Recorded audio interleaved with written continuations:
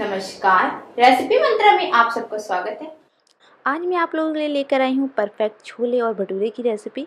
अगर आप भी छोले भटूरे खाने के शौकीन हैं तो ये रेसिपी आपको ज़रूर पसंद आएगी। तो चलते हैं आज की इस रेसिपी को बनाने के लिए।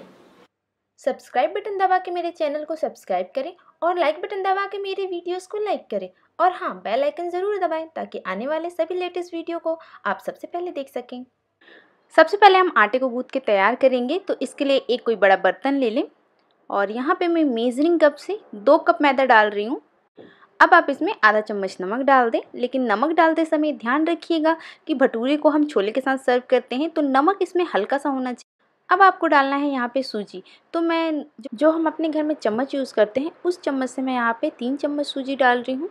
और यहाँ पे मैंने मोटी वाली सूजी डाली है। अगर आपके पास मोटी वाली सूजी ना हो तो आप बारीक वाली सूजी का भी इस्तेमाल कर सकते हैं। भटूरे हमारे अच्छे फूले फूले बने, इसलिए यहाँ पे आपको डालना है एक चौथाई चम्मच बेकिंग सोडा। भटूरे हमारे अच्छे नरम बने, इसलिए यहाँ पे आपको डालना है दो चम्मच रिफाइंड तेल। अब यहाँ पे आपको डालना है तीन चम्मच दही। और ध्यान रखिएगा कि जो आप दही इस्तेमाल करें, वो दही खट्टी नहीं होनी चाहिए, क्योंकि अगर दही खट्टी होगी ना तो जब आप भटूरे बनाएँगे तो खट्टेपन का एक टेस्ट आ जाएगा। अब आप इन सभी चीज़ों को अच्छे से मिला लें, लेकिन चम्मच से मिक्स करेंगे ना तो अच्छे से मिक्स नहीं होगा, इसलिए हाथ का इस्तेमाल करें। तो मैंने भी हाथ से इसे अच्छे से मिक्स किया है यहाँ पे। भटूरे बनाते समय सबसे बड़ा जो गेम है ना, वो आटे का ही है, क्योंकि अगर आटा अच्छे से नहीं गुथेगा ना तो हमारे जो भटूरे हैं, वो सॉफ्ट नहीं होंगे और ना ही फूले फूले बनेंगे। तो सभी चीज़ें अच्छे से मिक्स हो गई हैं। अब हम इसमें थोड़ा थोड़ा पानी डाल के इसका आटा गूँथेंगे।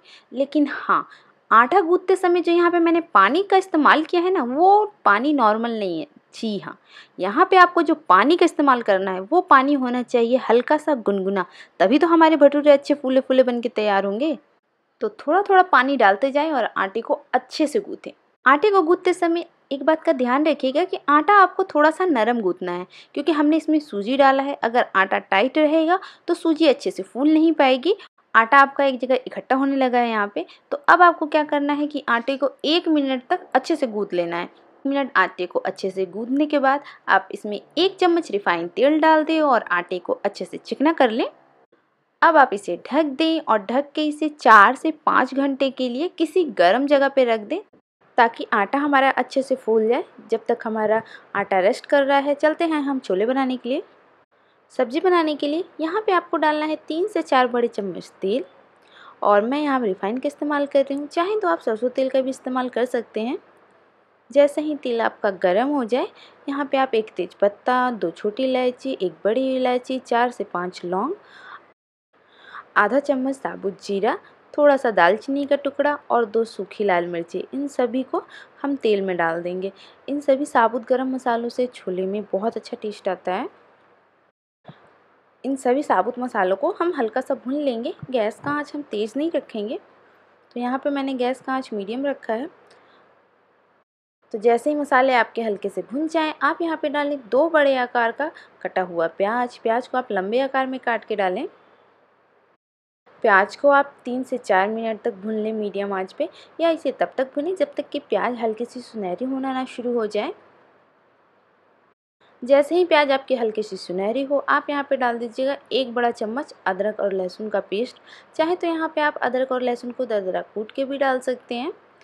अदरक और लहसुन को एक मिनट हम प्याज के साथ भून लेंगे ताकि अदरक लहसुन के जो कच्चेपन का टेस्ट है वो निकल जाए।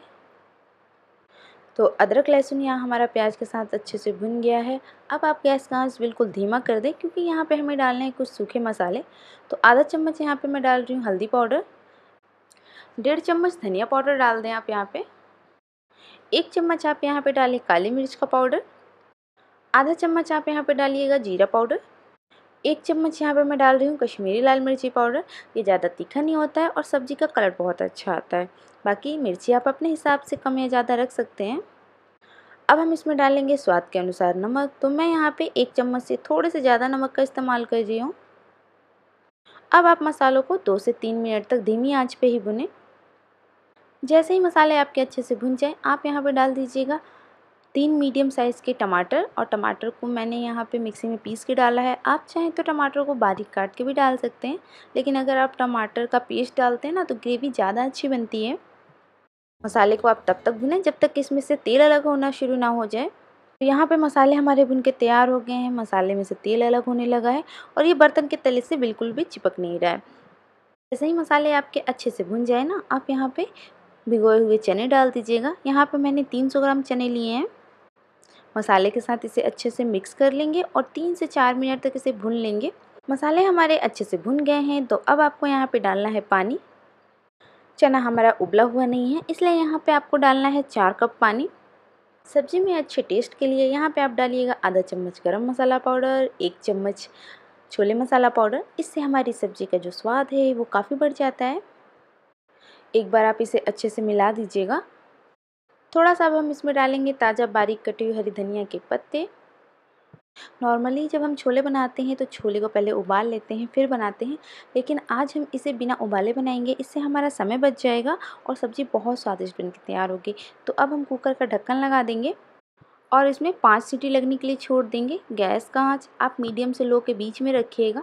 तेज़ आँच पे अगर सीटी लगाएँगे तो चना हमारा कच्चा रह जाएगा। अब हम गैस बंद कर देंगे और इसे तब तक नहीं खोलेंगे जब तक कि इसका प्रेशर अपने आप निकल ना जाए। कुकर का प्रेशर निकल गया है तो अब हम चलते हैं अपनी सब्ज़ी को चेक करने के लिए। और ये देखिए, सब्ज़ी में हमारा कितना अच्छा कलर आया है। तो अब हम चने को चेक कर लेते हैं कि चना हमारा अच्छे से पका है कि नहीं। तो ये देखिए, ये कितने आसानी से दब जा रहा है। तो ये हमारी सब्ज़ी बन के तैयार हो गई है। चलते हैं अब भटूरे बनाने के लिए। तो यहाँ पे आटे को रेस्ट करते हुए पूरे चार घंटे हो गए हैं। तो अब आपको क्या करना है ना कि आटे को एक बार और अच्छे से गूँथ लेना है। आटे को जब आप अच्छे से गूँथ लेते हैं ना तो क्या होता है ना कि हमारे ये जो भटूरे हैं, ये काफ़ी समय तक नरम बने रहते हैं। भटूरे के लिए आटा हमारे यहाँ गुथ के तैयार हो गया है। तो अब हम चलते हैं नेक्स्ट प्रोसेस के लिए। अब आप हाथ में थोड़ा सा तेल लगा लें और इसकी लोइयाँ तोड़ लें। लोइयों का साइज़ आप अपने हिसाब से रख सकते हैं, जितने बड़े आप भटूरे खाना पसंद करते हैं। तो मैं यहाँ पे मीडियम साइज़ के लोइयाँ तोड़ रही हूँ। एक लोई को हाथ में लेंगे और दोनों हथेलियों के बीच में घुमाते हुए इसकी चिकनी लोई बना लेंगे। और हाथ में जब आपके थोड़ा सा तेल लगा होगा ना तो ये जो लोई है वो फटाफट से गोल हो जाएगी और अच्छी चिकनी हो जाएगी। अब हम लोई को थोड़ा सा हाथ से इस प्रकार से फैला लेंगे। उसके बाद क्या करें कि बेलन में थोड़ा सा तेल लगा लें और ये जो लोई है, उसके ऊपर भी आपको हल्का सा तेल लगाना है। इससे क्या होता है ना कि आपका जो भटूरे हैं, वो बहुत ही आसानी से बिल जाते हैं। नहीं तो अगर आप इसमें तेल नहीं लगाएँगे ना तो जैसे ही बेलेंगे, आपकी पूड़ी जो है, वो छोटी हो जाएगी सुगुड़ के।